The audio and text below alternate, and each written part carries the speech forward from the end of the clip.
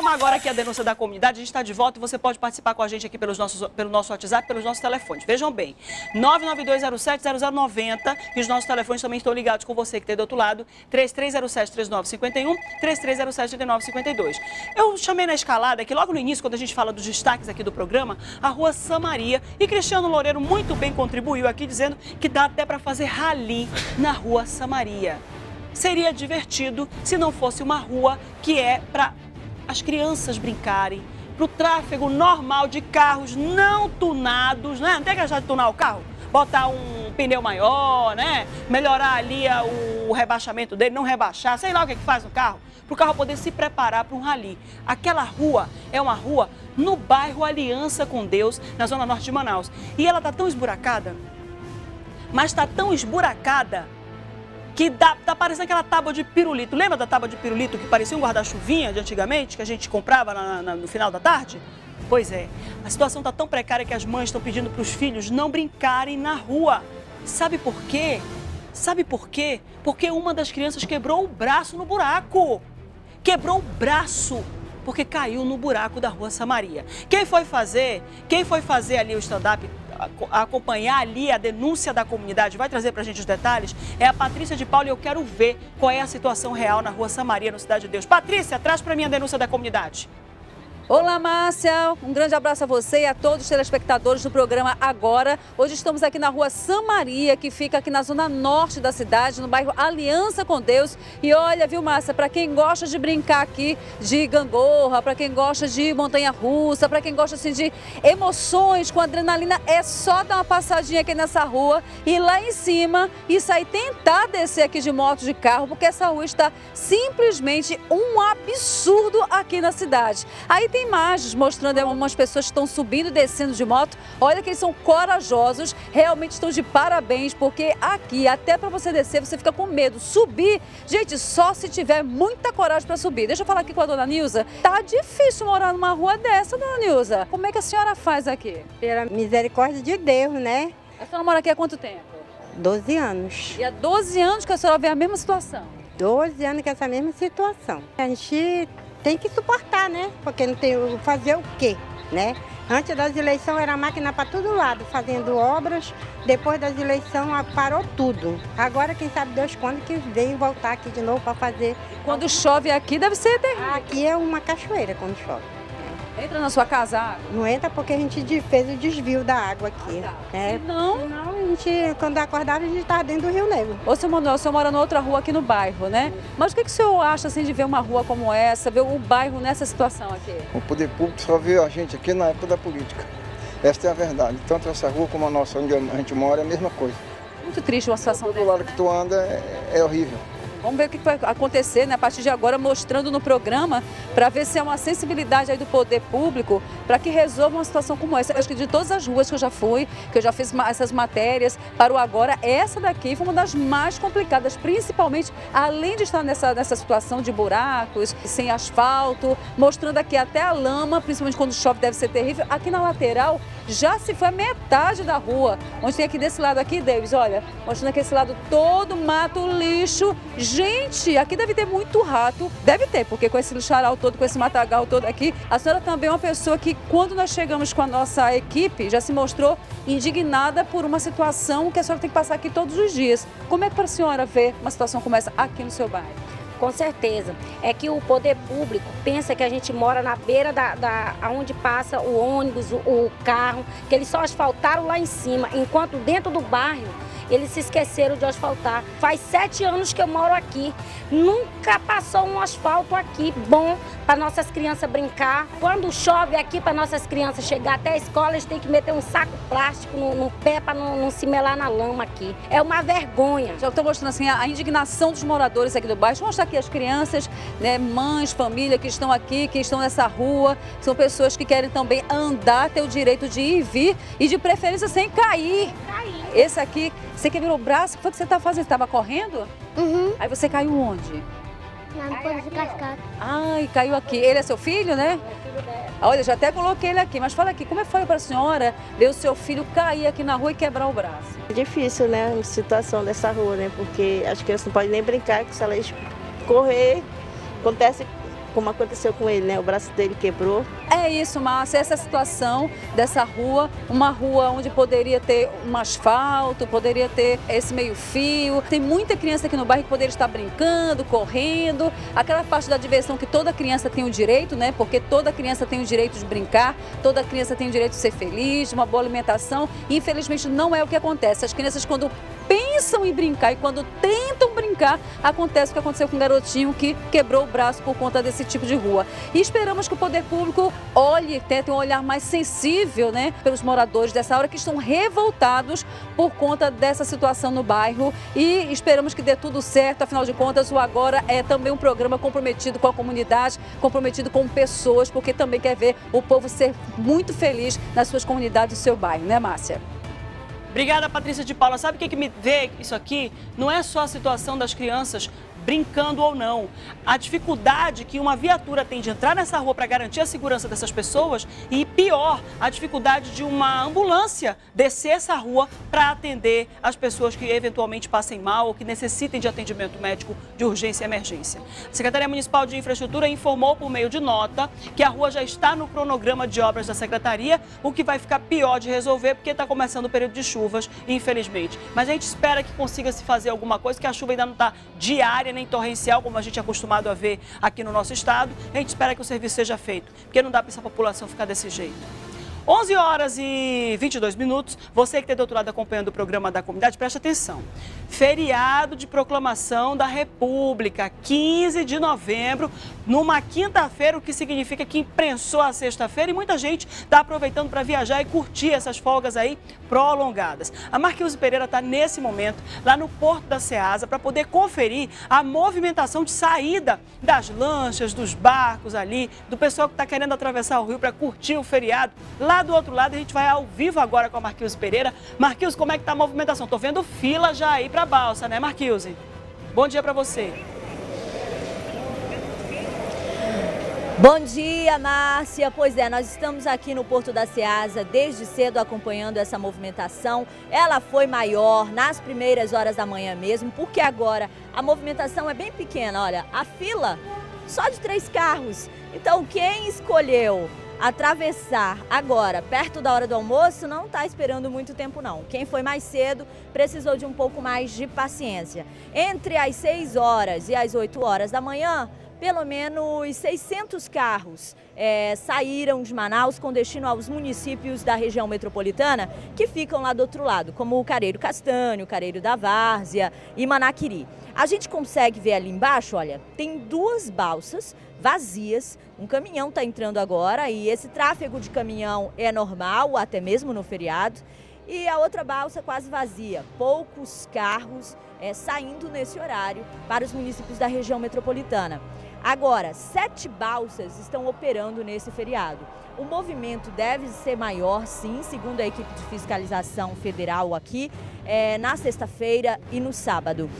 Agora, a movimentação lá embaixo, no terminal das lanchas, ela continua ela é bem maior, inclusive, porque muita gente prefere viajar de lancha, por ser mais rápido e mais barato até. Porque os carros é, pagam aí, os carros de passeio, R$ reais para ir, R$ reais para voltar na balsa. Na lancha, é, varia muito, de 7 a 12 reais a passagem, dependendo do destino. Só que na lancha, algumas denúncias estão surgindo. É, pessoas idosas que têm direito à gratuidade não estão conseguindo embarcar é, com essa gratuidade, porque alguns comandantes e alguns donos de lancha estão dizendo aí que elas já estão lotadas e que a gratuidade não tem como ser feita. Mas essa denúncia já foi levada à Arsan, que está verificando não só aqui no Porto da Ceasa, como na rodoviária da capital também. Lá na rodoviária, Márcia, o movimento é muito maior, viu? Bem maior mesmo. A estimativa é de que 4 mil pessoas deixem a capital pela rodoviária nesse feriadão prolongado. A gente consegue ver aqui, Márcia, a fiscalização federal, né, o pessoal que é responsável pelo embarque aqui no Porto da Ceasa, está de plantão 24 horas. É, todas as balsas passaram por manutenção para operar nesse feriado e eles estão de olho, viu? Mais lá adiante, lá no posto da Polícia Rodoviária Federal, a fiscalização está acontecendo nesse feriado. Geralmente os carros passam lá na frente sem parar, né? Hoje eles estão parando. A gente mostra outros detalhes dessa movimentação toda na saída da cidade nesse feriado. No Jornal em Tempo de hoje eu volto com você. Obrigada, Marquinhos e Pereira. Lembrando que quem vai pegar a estrada, Marquinhos está trazendo informações agora ao vivo, direto do Porto da Ceasa, para o pessoal que está atravessando o rio para poder curtir esse feriado prolongado lá do outro lado, nos, nas principais cidades ali da nossa região metropolitana, nos municípios do nosso interior. Então, você que está aí do outro lado acompanhando o nosso programa da comunidade, a gente já trouxe informações que a Marquinhos Pereira traz para a gente, dizendo que as balsas passaram por manutenção para poder levar todo mundo em segurança lá para o outro lado. Não posso deixar de mencionar os cuidados que cada condutor, cada motorista precisa ter com seu próprio veículo para poder atravessar a, a nossa, a nossa a rodovi, ali a rodoviária, né, para poder atravessar ali a, o pessoal que está indo para Presidente Figueiredo, Presidente para Rio Preto da Eva, pegando a BR é, 174, pegar a M010, né? Então fica todo mundo ligado para ver freio, ver óleo, ver o step, ver a calibragem dos pneus, ver se segurança está tudo funcionando direitinho, porque ninguém vai atravessar, vai para os municípios do interior, pegar a estrada com o carro quebrado, porque é um perigo. E na volta, cuidado redobrado, nada de beber e dirigir.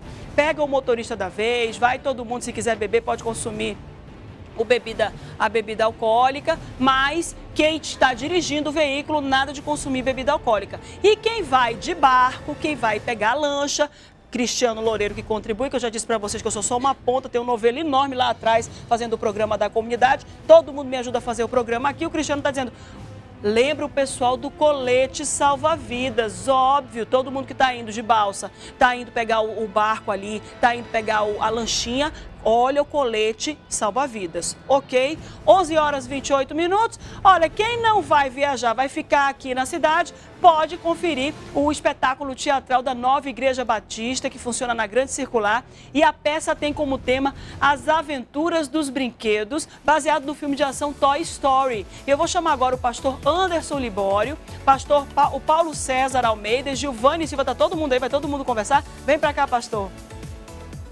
O senhor é o pastor Anderson Libório. Tudo bem, né? O senhor é pastor da igreja daquele rapazinho ali, né? Exatamente. Tem umas reclamações para fazer dele, é com o senhor mesmo que a gente faz? É, depois a gente conversa. Pera aí rapidinho, presta aqui. Tá não, tá ligado, viu? Tá ligado o negócio aqui. É com o senhor que eu faço as reclamações? Pode, pode falar comigo. Coisas seríssimas, viu, pastor? É. É, seríssimas. Mas depois a gente fala, porque aqui não há, né? Não tem que... Vem pra cá, vem pra cá, vem pra cá. Pra cá. É, aê, ok, deu. Aê! E a gente tá vendo ali os grandes personagens do Toy Story. Tudo bem? Como é teu nome? Paulo César. Paulo César, tudo bom, Paulo César? Tudo ótimo. Teu... Gente, faz muito tempo que eu vi esse desenho, eu não me lembro do nome dos personagens. Por favor, ele vai me ajudar. Paulo César, como é o nome do teu, do teu personagem? É o Cowboy Woody. Woody, é o Woody, claro, Woody. Você é o? Giovanni Silva. Ajuda ele aí, porque ele não vai conseguir, né? Giovanni Silva, como é o nome do teu personagem? É o Buzz. É o? Buzz. É o Buzz. O Buzz, o Buzz. Buzz Lightyear. Porque Buzz Lightyear, ó, Manu, que é mãe, tá me ajudando, gente. Desculpa, pessoal. Eu tô na moda dos incríveis. Eu tô na moda dos incríveis. Se fosse os incríveis, eu saberia. Mentira, eu não saberia também, não. Que eu acabei de puxar da memória e esqueci o nome de todo mundo. E tem outros personagens que vão estar em cena. O senhor sabe o nome de todos, Senhor pastor? Cabeça de Batata, o cachorro Slink. O cabeça de batata Senhor Cabeça de Batata.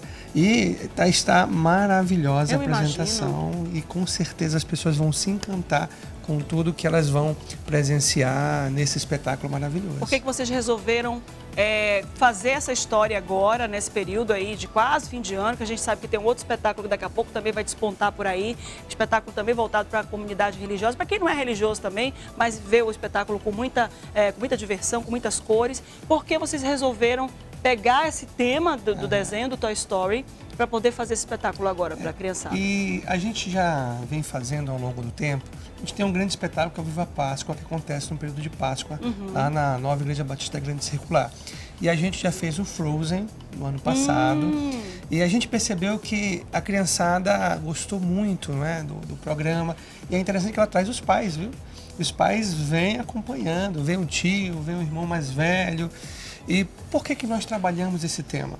O tema do Toy Story é um clássico infantil maravilhoso, que inclusive está saindo uma nova, está saindo recente, vai sair agora por esses Toy dias. Story o quê? O, acho que é o 4, O sim, com quatro. novos personagens. Mentira. É, Eu gosto do Toy. Story, gente. Eu gosto, só não lembro os nomes dos personagens. Eu adoro desenho. É, mas é- é- são muitos É personagens. uma forma né? lúdica de ensinar uma todo forma mundo, lúdica. né? E olha que é uma coisa interessante. A própria história em si, ela tem uma mensagem muito boa do Uhum. Toy Story. Porque é um brinquedo, o Woody, que fica com ciúmes do Quando o Buzz entra na cena do personagem principal. não.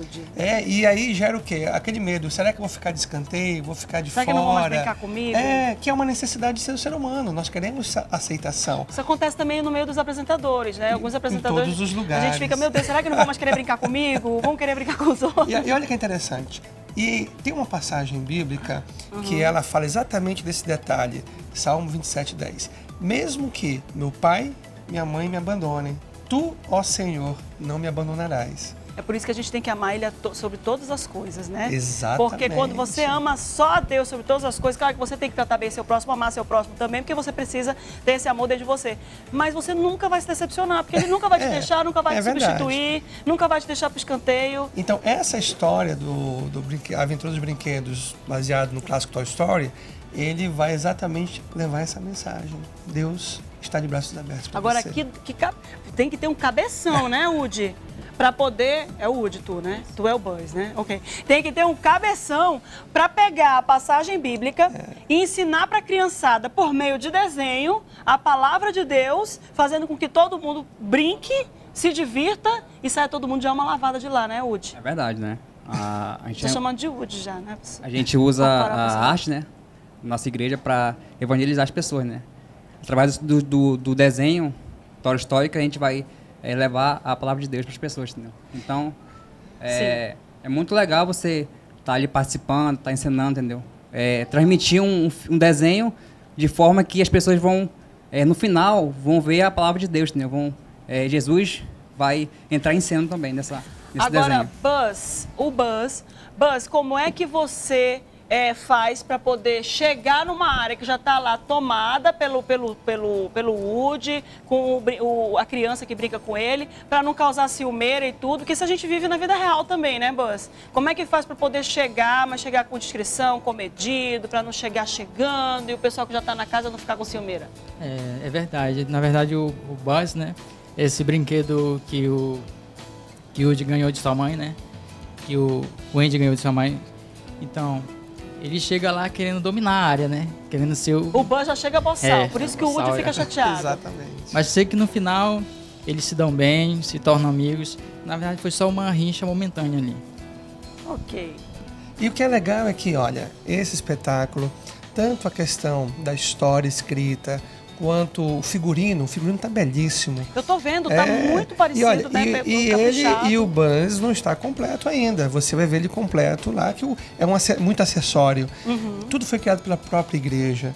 As próprias as pessoas né? participam, elas dão ali do seu tempo, da sua vida por esse projeto. Isso é muito gratificante, é muito Ah, legal. com certeza, envolve todo mundo, tem que trabalhar todo mundo junto, apresenta o espírito de equipe, toda, toda aquela dificuldade que a gente tem no dia a dia vai desfazendo ali com, com as costuras, com os alinhavados ali, né? com as- com- Uhum. Alinhando ali as roupas para poder, pregando os botões, para poder todo mundo dirimir qualquer tipo de conflito. Faz o convite de novo para todo mundo, pastor Anderson, por Bom, favor. começa amanhã. Nós temos do dia 16 ao dia 20, são cinco dias de apresentação. Nós temos sexta, sábado, segunda e terça, às 19h30 horas. E nós teremos no domingo duas apresentações, 17h30 e 19h30. Você é o nosso convidado com a sua família. Entrada franca. Eu já ia perguntar isso. Basta você se fazer presente no nosso espetáculo. 11 horas e 35 minutos, sabendo que essa é uma dica para quem não vai viajar, quem vai ficar aqui na, na, na cidade, quem trabalha em iniciativa privada como a gente, que amanhã vai estar todo mundo trabalhando, não tem feriado não, vai aproveitar para levar a criançada para assistir esse super espetáculo. Vamos para o intervalo rapidinho, que eu vou ali com o pastor Anderson falar do Elias, né? Vai para o intervalo rapidinho que eu tenho um negócio para... Então, Elias, pastor, pode vir.